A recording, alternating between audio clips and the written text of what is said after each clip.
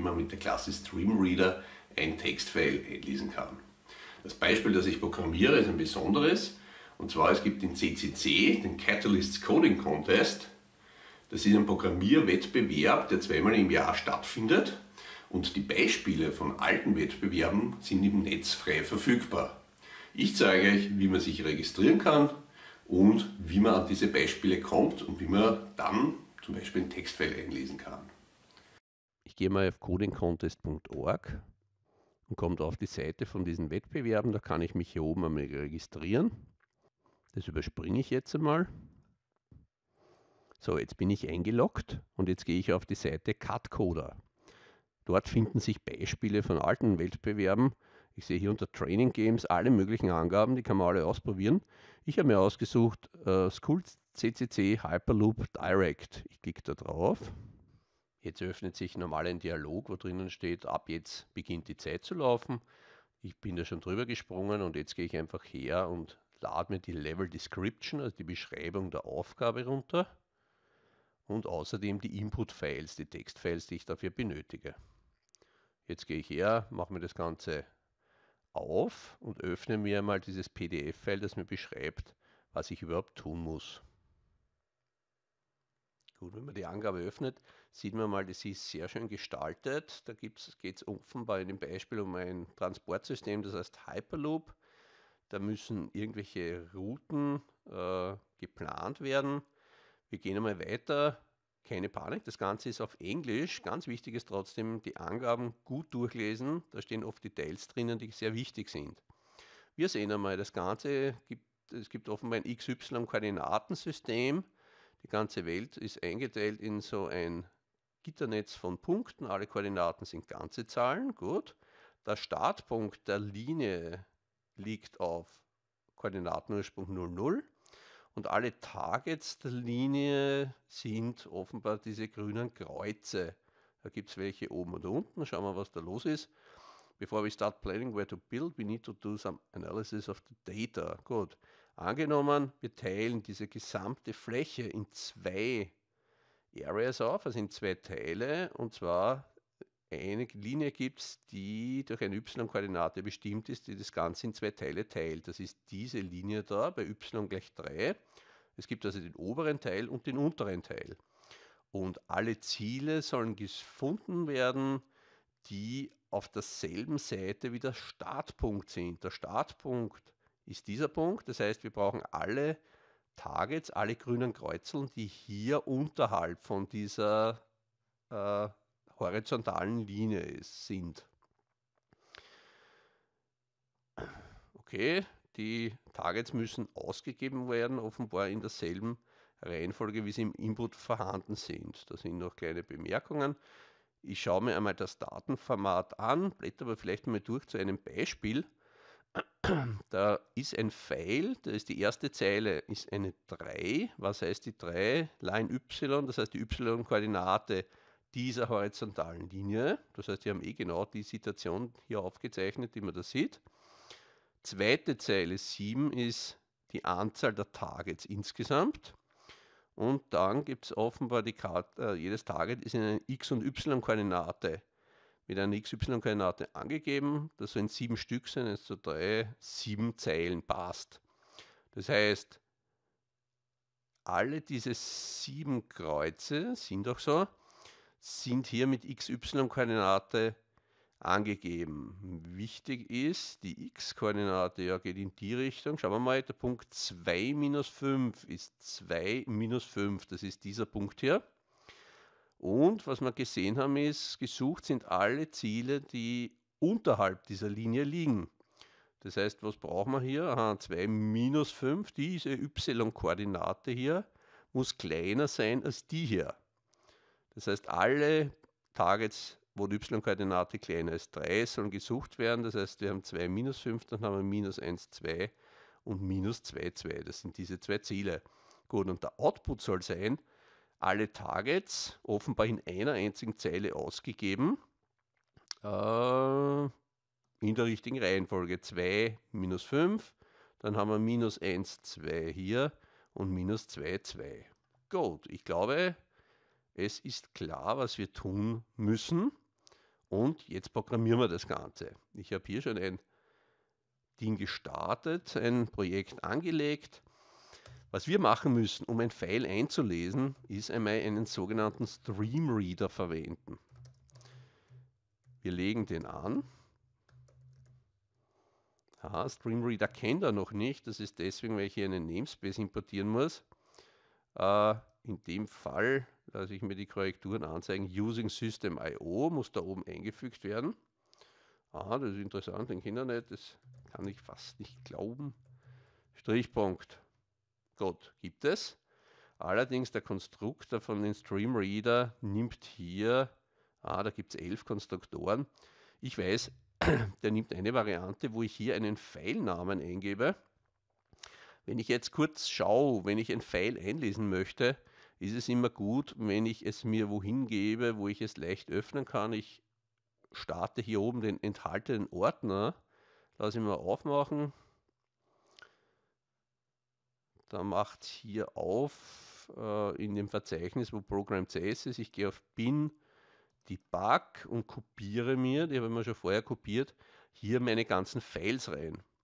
Und was ich hier sehe, ist dieses Level 1-eg.txt ist ganz genau das Beispielfile, das wir auch hier im PDF haben.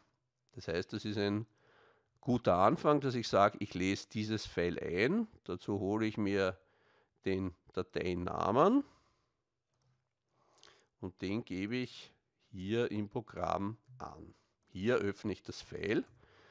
So einen, wenn ich ein File öffne, muss ich zugleich auch äh, dieses File dann am Schluss wieder schließen und außerdem will ich ein Console Read Key haben, damit das Programm stehen bleibt.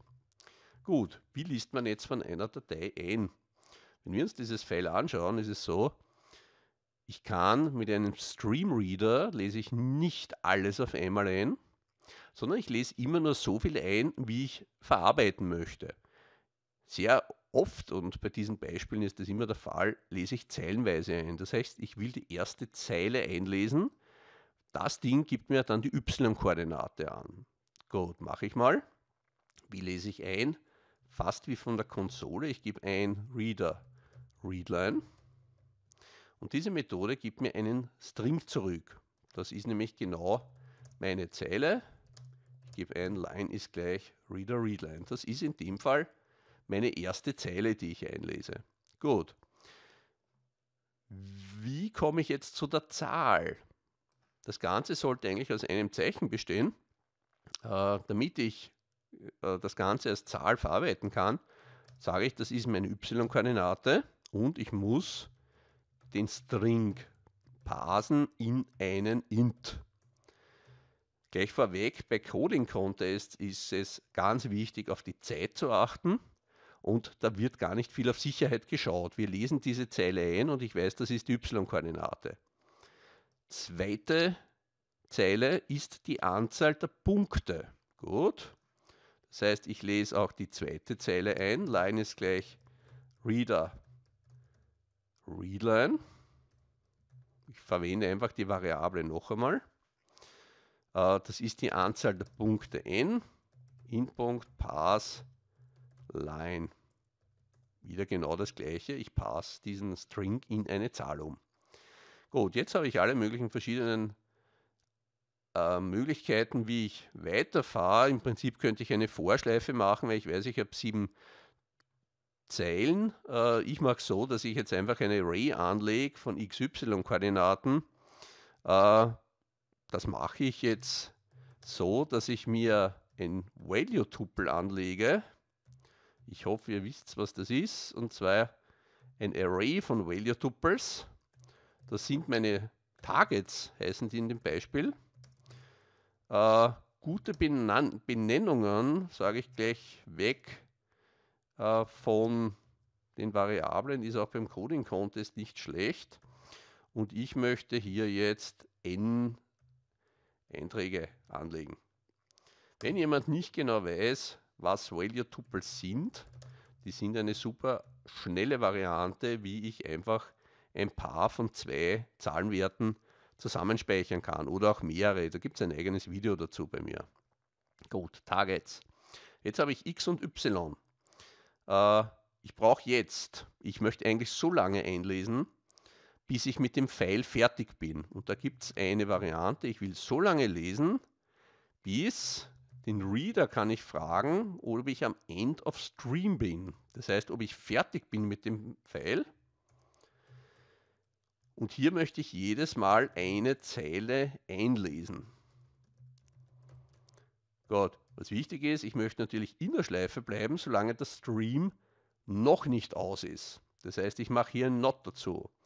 Jetzt hole ich mir immer eine Zeile rein. Beim ersten Schleifendurchlauf ist das 2 minus 5. Wandle ich eine x- und y-Koordinate um und speichere im Array. Dann hole ich 2, 4 rein, mache das gleiche 0, 4 und so weiter, so lange, bis ich ganz am Schluss bin. Äh, gut, das heißt, wir müssen, wenn wir da nochmal herschauen, äh, wir haben jetzt im String zum Beispiel zwei Leerzeichen minus 5 stehen. Ich schreibe mir das kurz her, hier als Beispiel. Gut, und ich möchte das jetzt zerhacken in eine x- und y-Koordinate. In x, y. Wie mache ich das? Ganz einfach, ich kann, es gibt eine super praktische Methode zum Splitten eines Strings in einzelne Teile. Das geht so, dass ich line.split angebe. Und wo wollen wir die, die, das Ganze splitten? Beim Leerzeichen.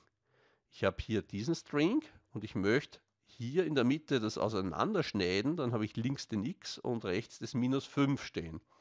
Tatsächlich ist es so, dass ich hier jetzt im Part 0 äh, steht bei meinem Beispiel 2 drinnen und im Part 1 steht in meinem Beispiel minus 5 drinnen und das kann ich wieder parsen. Was ich jetzt mache ist, ich mache es nicht ganz so schnell, damit es ein bisschen übersichtlicher ist, mache eine x-Koordinate, das weiß ich ist int.parse von Parts 0. int y, upsala, ist gleich int.parse von Parts 1. Strichpunkt, geht natürlich auch ohne Zwischenvariablen. Äh, ich möchte ganz am Anfang in das Element 0 reinschreiben. Das heißt, ich muss mir hier noch einen Index machen. int i ist 0. Und jetzt weiß ich, ich muss von den Targets ins Element 0 schreibe ich rein ein Doppel x y. Das sind genau diese Werte hier.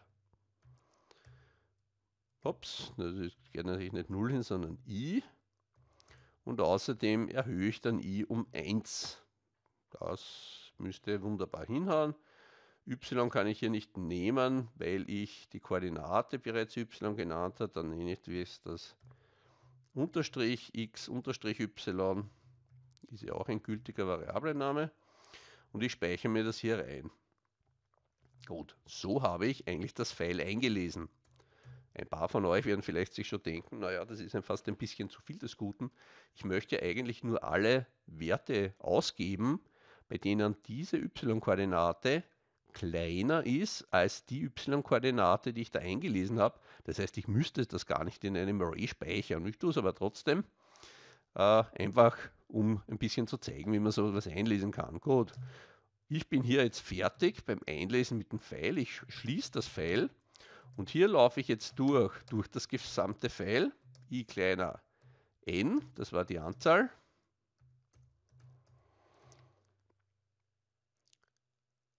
Ja, die Variable i gibt es auch. Muss ich i gleich 0. Äh, das int wegnehmen. Gut, und jetzt mache ich einfach nur die Ausgabe und überprüfe, wenn von Targets äh, der Eintrag i Punkt und da habe ich ganz genau das y, dieses y da ist jetzt genau das y, das ich hier oben habe. So funktionieren Value Tuples. Wenn das kleiner ist als das y, das ich hier oben eingelesen habe, dann möchte ich äh, das Ganze ausgeben. Äh, ich mache es mir hier einfach. Ich mache einfach ein Console Write Äh, Dollar, ein interpolated string, geschwungene Klammer auf. Äh, zuerst gebe ich x aus, dann ein Leerzeichen, geschwungene Klammer zu, upsala, ein bisschen vertippt. Natürlich alles kompletter Unsinn, da gehört Target x her, Target y, Genau, dann nehmen wir einen Leerstring, da ist dann am Schluss einer zu viel, aber das ist normal nicht so tragisch. Console write. Sehr schön. Das müsste es auch gewesen sein. Wir sind beim Coding Contest und denken gar nicht viel nach, sondern probieren das Ganze mal schnell aus, ob da schon was rauskommt. Wir können auch inzwischen schauen, was ist die Ausgabe, die wir erwarten. 2 minus 5 minus 1, 2 minus 2, 2. Wir starten das Programm, das kompiliert ungewöhnlich lang. Aber was ich sehe ist nichts.